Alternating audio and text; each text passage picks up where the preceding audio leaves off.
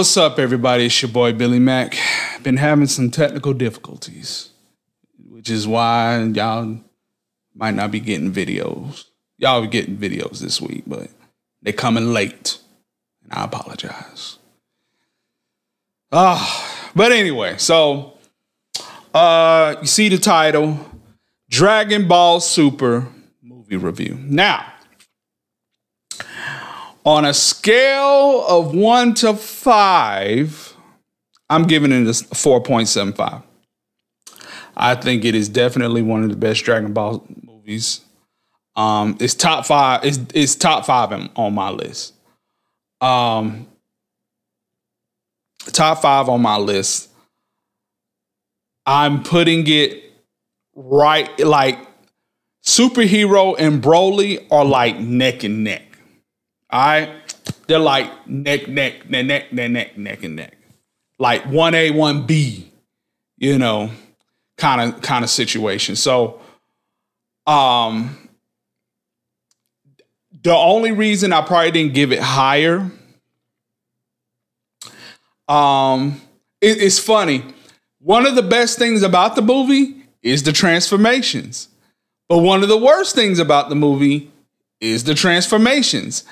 And um, some transformation. If if I look back at the Dragon Ball Z continuity of the show, you kind of see you can you when certain transformations happen, you kind of see it coming, or you you know it's possible. You you you you know you know it's there. Um, and I'm kind of contradicting myself because one of the, like the main thing that made Resurrection F so good was when Goku and Vegeta turned Super Saiyan Blue. We didn't see that coming. Um, but I think the issue was it was explained. It was God energy. So it was Super Saiyan plus God energy, and that's how they got the Super Saiyan God. So it's kind of like, okay, I like that. That made sense though. Even though it was new and it came out of nowhere, it made sense.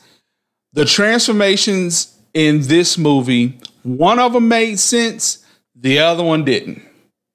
The other one didn't. Now, there is a reason the other one didn't.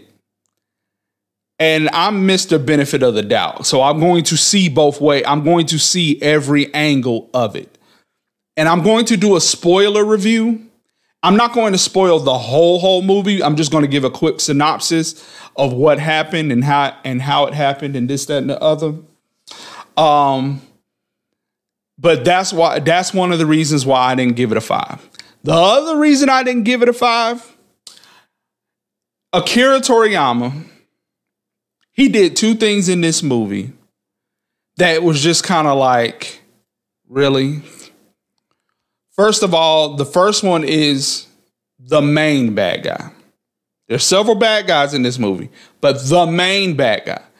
And this might be a spoiler. I'll put it like this. Can we get something original? that's all I'm gonna say. Can we get something original, Akira Toriyama? That's all I that's all I ask. Can we get something original? That's number one. That's number one.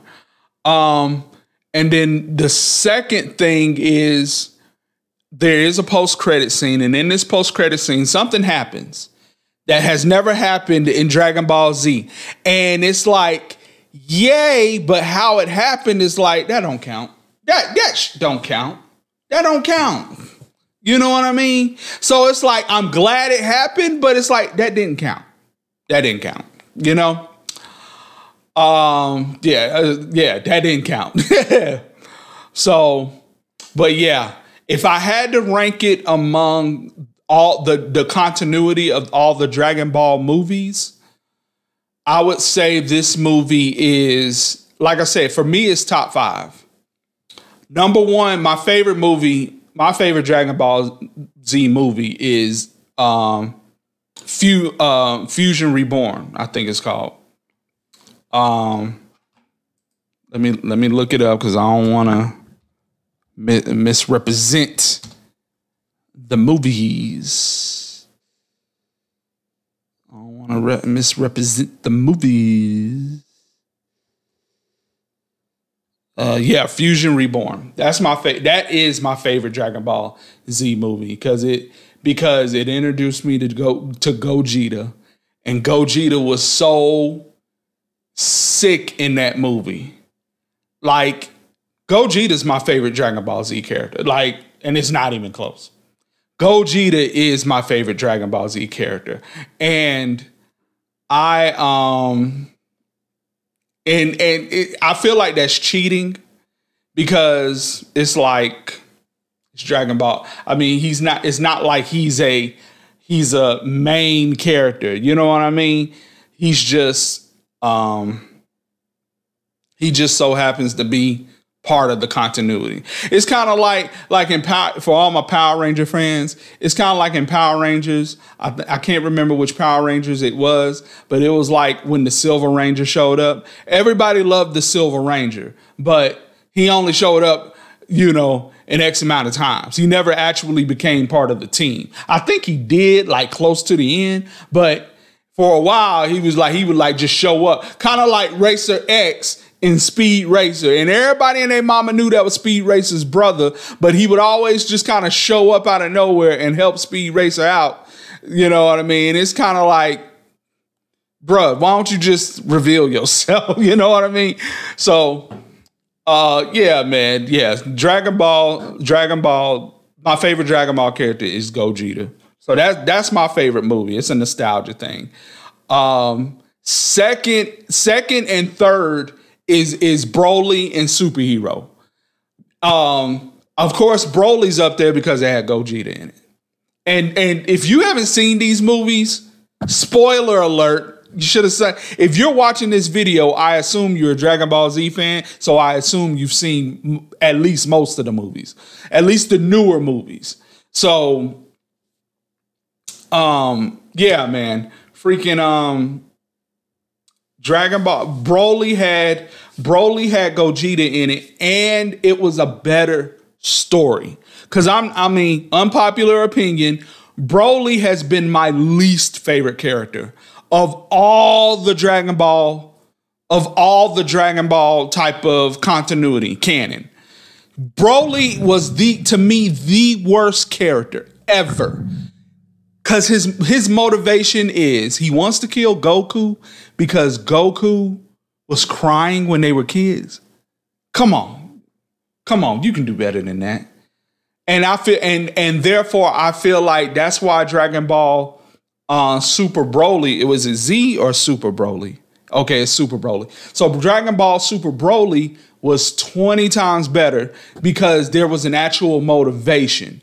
And and it, Frieza got involved and then Paragus and then th- that it just was 20 times better than the old than the old Broly movies. I can't stand the old Broly movies. Uh superhero is is like I said, there if if Fusion Reborn is one, Broly, Broly and Super, Dragon Ball Super Broly and Dragon Ball Super Super Hero are 2A and 2B. Okay? And superhero, to me, superheroes Superhero had a better story. I really liked the story, even though the way it went about it was kind of whack. The character development in this movie was so good. It was so good. Like, you really felt for the like I can't remember the last Dragon Ball Z Dragon Ball, Dragon Ball Z, or Dragon Ball Super where you actually unless not counting the manga, not counting the manga. This is strictly animation. This is strictly the animation. Uh, because the manga really gets in the the manga does a great job of character. Uh, um, uh, what's the word? I just had it. Um, character growth. It'll come back to me. The manga does a wonderful job of establishing characters in the continuity. The animations, not so much. It's like you learn, but you really don't. You don't know. Um, and so, yeah, for me, um, yeah, soup and, and character development. Thank you, Jesus. Character development. Um, the character development in this movie was outstanding. They they introduced so many new characters, and now I'm like, bring like they need to they need to be part of the the story now. Like they like they need to be part of the story now. They like they need to these are now these need to be part of the cast now. That's how good the character development was for those characters. So um yeah, man, that it it was really good. Um I don't feel like there was any kind of I'll put it like this Japanese sexualization. It's not a lot of it, but it was kind of it was kind of put there just just for the for the hell of it. It was put there for the hell of it. Um this in this movie, I'll say two things about this movie before I go. The two things, first of all, it was a homage to Dragon Ball. It paid homage to Dragon Ball. That's number one. Um, and, they, and, and the crazy thing is they did it without Goku. Because Goku, and that goes into my second point, because Goku and Vegeta, they're in this movie. There's also somebody else that's in this movie that y'all are going to be happy to see. Um, but Goku and Vegeta are in this movie. But they're not in the movie, if if that makes sense. And then um, but this is more so a Piccolo Gohan movie. And everybody in their mama know Piccolo. Piccolo is Gohan. He might have been your, he might have been your father, but he ain't your daddy. That's Piccolo. That's Piccolo to Gohan. So, so, so that it was definitely a Gohan and Piccolo movie. Um, they they introduced something with the Dragon Balls that I didn't know, and I but I like it. I want them to to explore that, and in a way, in a way, and if you and it, I'll give my theory in the spoiler review. In the spoiler review, I'll give my theory on this because I think it's going to lead to something in the future, but that's neither here nor there. But um, yeah, yeah. Dragon Ball Super Broly. Oh, and the fight sequences was good in this too. So I think Bra- Dragon Ball Super Broly for me, it was it it it it was good because it had Gogeta. The story was the story was good. The, the story made more sense for Broly. Um, the fight scenes were great. It was just a good movie. It was an overall solid movie. Dragon Ball Super Super Hero, great character development good story, good fight scenes, transfer other transformations too. So to me, they're neck and neck. And if I had, and then I would go Resurrection F, Resurrection F, and then Battle of the Gods would be my top five Dragon. I ain't gonna lie. I'm a hey, I like I like newer animation. Cause cause I look back at the old Dragon Ball Z movies. Um, Wrath of the Dragon to me, it it was good, but it wasn't not it wasn't memorable. BoJack, it was good, wasn't memorable. I've already told y'all I can't stand the Broly movies. Cooler, the Cooler movies were good. The Return of Cooler, Cooler's Revenge was better than the Return of Cooler, but the Cooler movies were good. Um, Super Android 13 was alright. Uh, Tree of Might was pretty good. Lord Slug was pretty good. Um, yeah, Dragon Ball Z Dead Zone. What was that about? Oh, Garlic Jr. So yeah. Um yeah. Yeah. So so it's like I I'm not I'm not knocking the older movies, but I know I know um I just like the newer animation better. I just like the newer animation. And the beautiful thing, and the reason I put Battle of God, because let's be real, Battle of Gods is not that good of a movie. But the reason I put it up there is because I if I'm looking at the math, let me look at the math. Battle of the God, the last Dragon Ball Z movie, to come out before Battle of the Gods was in 96. Battle of the Gods came out in 13. Um, Battle of the Gods came out in 13.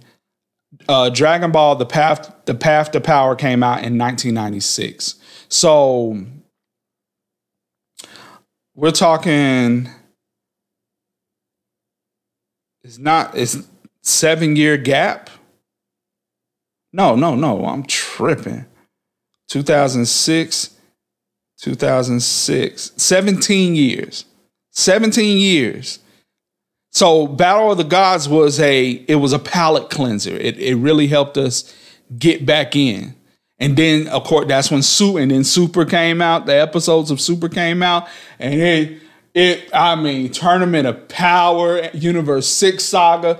I mean it was, ah, it was great for all the Dragon Ball movies. But um, yeah, man, I'm gonna do a spoiler review. Um, I'm gonna do a spoiler review. Watch that if you want to know my theory on what happened in the movie with when it comes to the Dragon Balls.